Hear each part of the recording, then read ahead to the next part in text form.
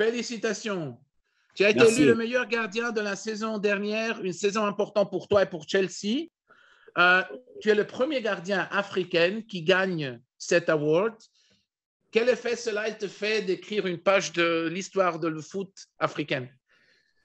Euh, Aujourd'hui, c'est c'est un moment très, très spécial pour moi, pour, euh, pour ma famille.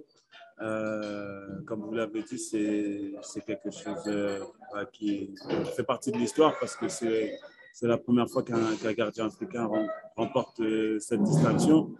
Donc euh, aujourd'hui, j'ai vraiment le sentiment de, de fierté. Euh, fierté au nom de- du Sénégal, mais aussi au nom de, de l'Afrique. Et, euh, j'espère que, voilà, au fur et à mesure des années, euh, d'autres gardiens comme moi euh, continueront à, écrire les pages euh, du football euh, mondial.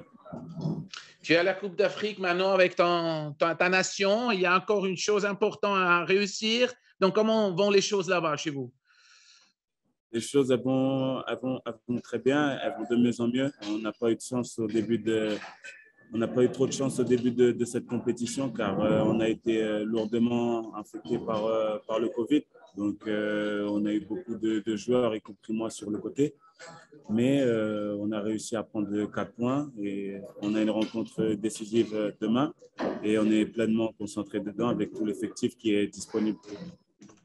Beaucoup de gens disent qu'au moment que tu as changé l'équipe, que tu es arrivé à Chelsea, on a vu le meilleur, le meilleur Edouard Mendy de tout le temps. Est-ce que tu as du même opinion ou il y a encore un peu d'espace pour améliorer? Je pense qu'il y a, je pense qu'il y a toujours, euh, il y a toujours de l'espace pour progresser si on a envie de, si on a envie d'apprendre. Aujourd'hui, j'ai, toujours envie d'a- d'apprendre. J'ai toujours euh, soif de, trophées.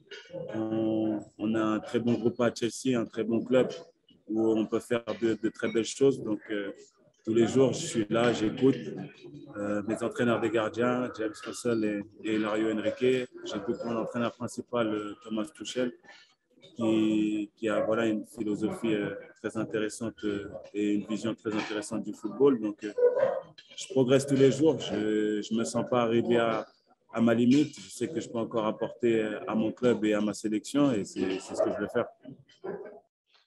Ah, you see your coach here now. You see your coach here. Oh, Thomas. Thomas has won also the title, Edouard, just to let you know. he won? He won. He's the coach of the year. Oh, yeah, nice, really nice. I'm really happy for, for him. so, So tell me, so- your expectation for Senegal.